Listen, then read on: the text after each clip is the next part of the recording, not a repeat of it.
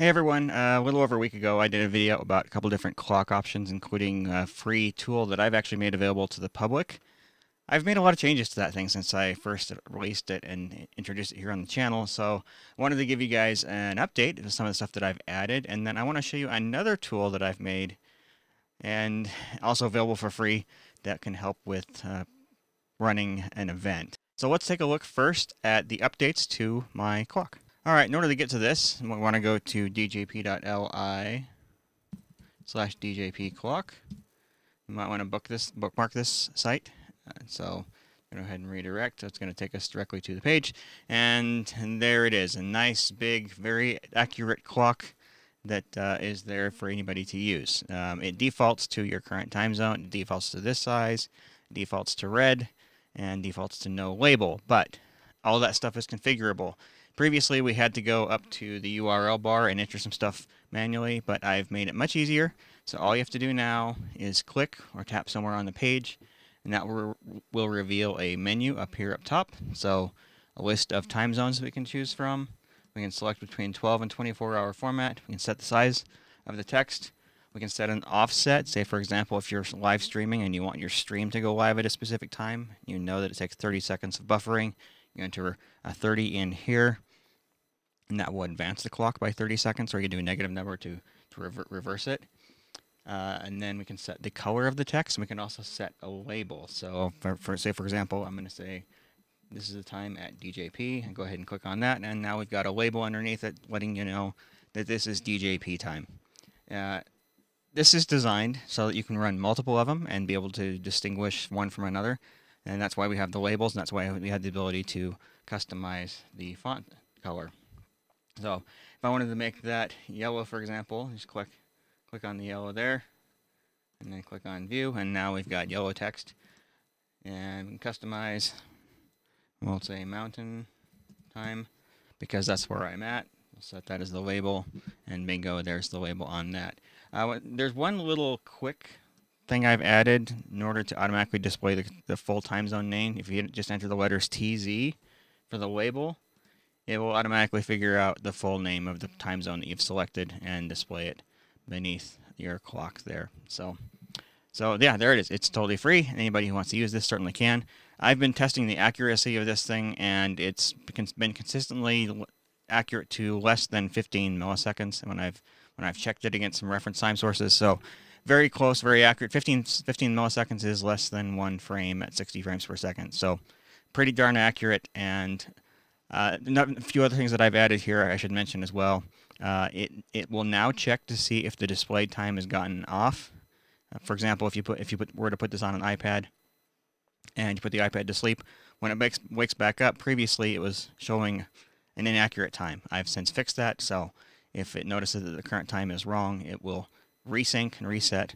And the other thing I've added since last time is automatic resync to my time server every 30 minutes. So even if, your computer time, your computer clock is not quite super accurate, it will now resync to my server every 30 minutes. Okay? All right, so that is free. It's available, djp.li slash djpclock. Anybody can use it. You don't have to be a customer of mine or anything like that. You don't have to be subscribed to the channel. Just go ahead, feel free to use it. It's there for anybody to use. The other one that I want to mention, it's another free feature I have on my CrewAxis uh, site which is a website designed for people to help run their video production business. And this is this feature that I'm going to demo is available in the free tier of the site. So you don't have to pay me any money in order to get access to this. Although those who are on the free tiers will get a little of additional functionality that I will demonstrate briefly along the way. All right, so this feature is basically uh, a full screen view of your run sheet. So a run sheet is basically a list of things that are happening as part of an event. So all the different cues that happen uh, when you have a, a, tight schedule. You know, this event needs to happen at exactly 2 o'clock p.m. or whatever. We put those things on a run sheet. So let me just very quickly show you what a run sheet, editing a run sheet looks like here on the site. So I go into this demo uh, event that I have, I'll click on run sheet, and then I'll click on the edit button here. So it'll allow me to view the run sheet for this event and you can see that I've got a series of cues in here so cue at 1.50 p.m. for 10 minutes to start a countdown, and the action for the crew is to start recording. Whoops.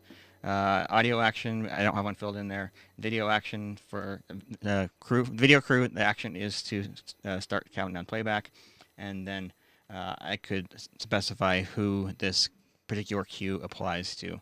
And cues can either be done by time of day, as you see here, or just by generic text. So if I wanted to enter the name of somebody who's starting or whatever, I can use that as the cue.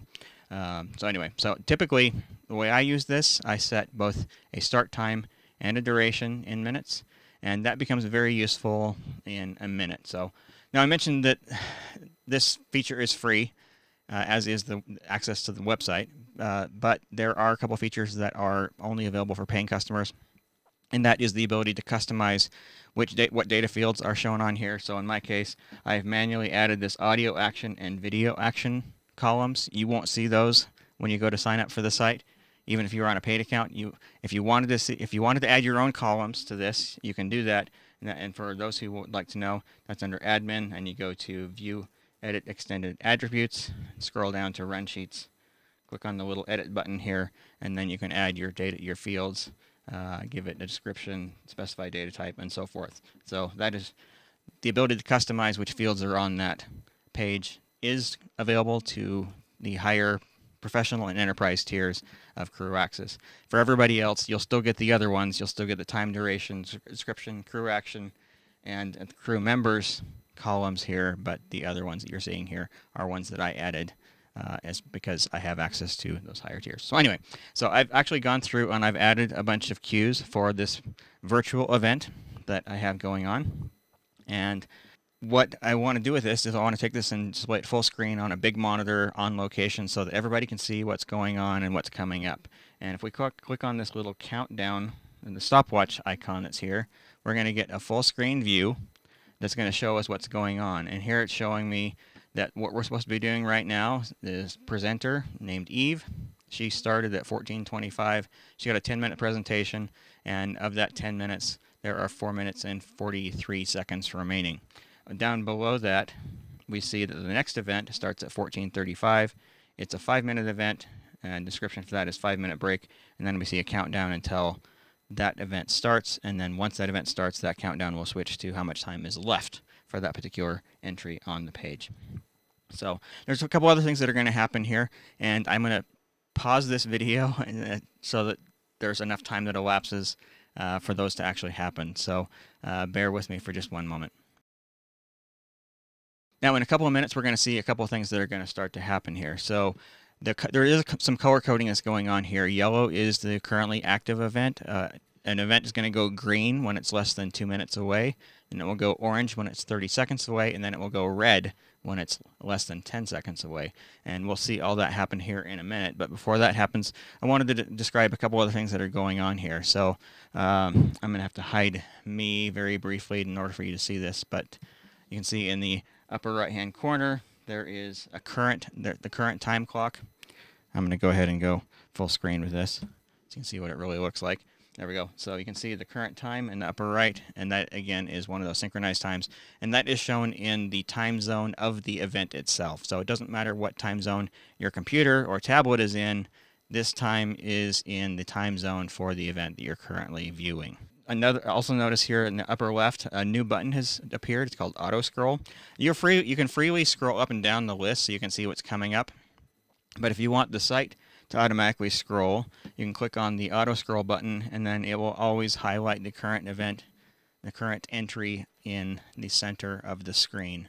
So in this case, we this is the event that is currently transpiring and uh, we'll have just a little over two minutes left to go on this. So yeah, but you at any point you can just grab the scroll wheel or the scroll bar on the side of the window there and scroll up and down and the site will allow you to do that and if you decide you want to go back to auto scroll mode, you can just click on that auto scroll button that appears there in the upper left. So we've got about uh, eight seconds here before the next thing is going to happen.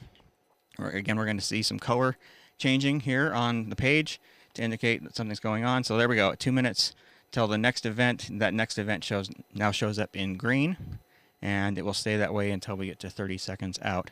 And then it will change to orange, and then at 10 seconds out, it will change to red. All right, we're almost at 30 seconds, so we're going to start to see some things happening here. So here we go. Now at 30 seconds, you see that the text there at the bottom changes to orange.